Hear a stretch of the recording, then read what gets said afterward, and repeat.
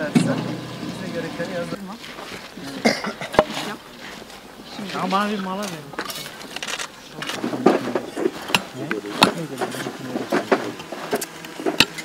Çok yerli. Bana ki ya.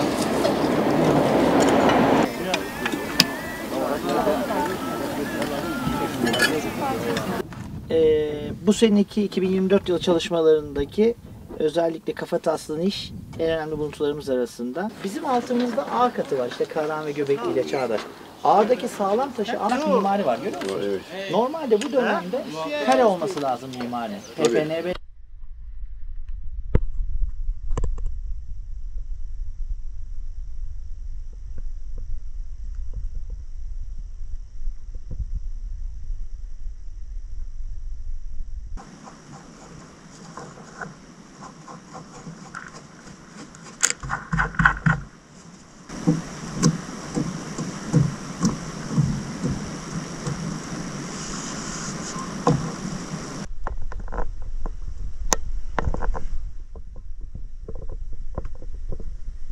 ...2021 yılında başladık çalışmalarımıza ve aslında ilk yılda da iskelet buluntularımız vardı ama bu sene yaptığımız çalışmalarda özellikle bir özel yapı içerisinde, niş içerisinde bulunan kafatası e, özgün bir buluntu olarak değerlendirilebilecek bir örnek olarak karşımıza çıkmakta.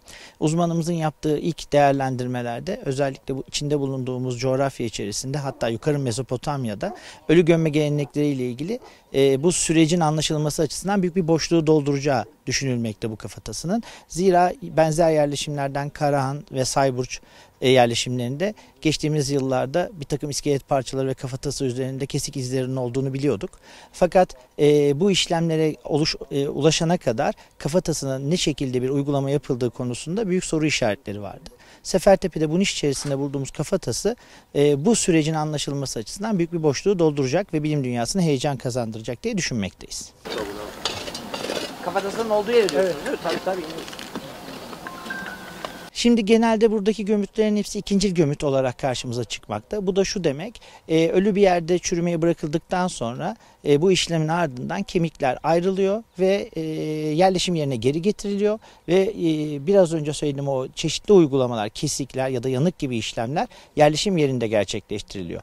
E, bugüne kadarki süreçte biz bu kesik ve ya- yanıklı örneklere rastlamıştık. Fakat bizim bulduğumuz nişteki kafatası e, bu işlemler başlamadan önce kafatasının özel bir alanda sergileniyor olduğunu göstermesi açısından da önemli. Karahantepe'den ele geçen kafatasında da çok sayıda kesik vardı. Ee, Biz bunların aslında e, bir bedene e, ikinci gömü uygulamaları çerçevesinde yaptıklarını biliyorduk. Ama e, bedenin e, kişi öldükten e, ikinci gömü uygulamasına kadar geçen süre içerisinde nasıl saklandığı, sergilendiğine ilişkin bir bilgimiz yoktu. E, Sefertepe aslında bu e, nişten ele geçen kafatasıyla e, bu tür alanlarda, özel alanlarda, özel yapılarda bu kafataslarının saklandığını, sergilendiğini ve çeşitli türlerin buralarda uygulandığını göstermesi açısından son derece önemli veriler sağlamış oldu. Ama hükümlü